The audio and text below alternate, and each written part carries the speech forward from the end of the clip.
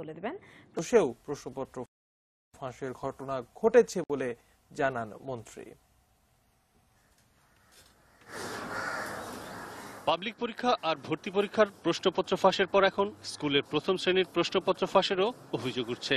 সব মিলিয়ে পরীক্ষার প্রশ্নপত্র ফাঁসের ঘটনা যেন মানসম্মত শিক্ষা ব্যবস্থার অন্যতম বাধা হয়ে দাঁড়িয়েছে।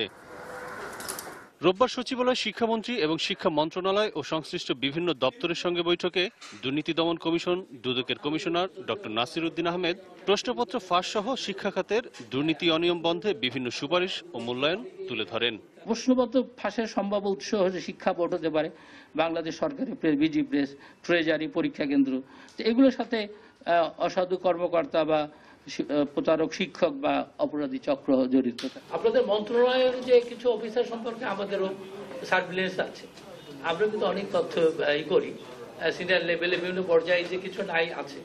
বৈঠকে শিক্ষামন্ত্রী বলেন, পাবলিক পরীক্ষায় প্রশ্নপত্র ফাঁস বন্ধ করতে শিক্ষার্থীদের পরীক্ষার আধ ঘণ্টা আগে কেন্দ্রে প্রবেশের নিয়ম সহ প্রশ্নপত্র ছাপা বিতরণে অনেক কড়াকড়ি আরোপ করা হয়েছে। কিছু অসাধু শিক্ষকের কারণে প্রশ্নপত্র ফাঁস বন্ধে পুরোপুরি সাফল্য আসেনি মনে করেন তিনি।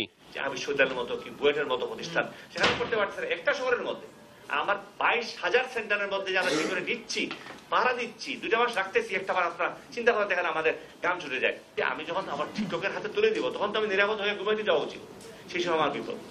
এখন তারা এটা ফাঁস করে দেন যে আমরা প্রত্যেক সেন্টারে আধা ঘণ্টা আগে অনলাইন দিব আর তারা তৎক্ষণিক বাইপ্রেস হবেন তা আমরা যখন বুঝলাম যে আমাদের আসল প্রশ্ন ফাঁসকারী তো আমাদের টিচার ভালো শিক্ষকেরাও শ্রেণীকক্ষে ভালো করে পড়ান না বলে অভিযোগ শিক্ষামন্ত্রীর। ক্লাসে না পড়াইয়া বাধ্য করে বাড়িতে পড়াইতে। এটার ব্যাখ্যার দরকার নেই। যত ভালো টিচার তত ভালো কম পড়ায়। আর পড়ায় না সে তার ব্যবসা নষ্ট হয়ে যাবে। এইভাবে একটা ব্যাপার। একটা হলো কোচিং ক্লাস খুলে ওইখানে কি করে যে কোচিং সেন্টার তারা তাদেরকে লোক দেখায় যে আমরা প্রশ্নপত্র ফাঁস করতে পারলে করব এবং তাদেরকে দিব।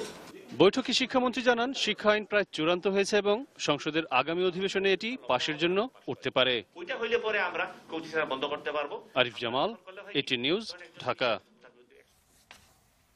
ঢাকা উত্তর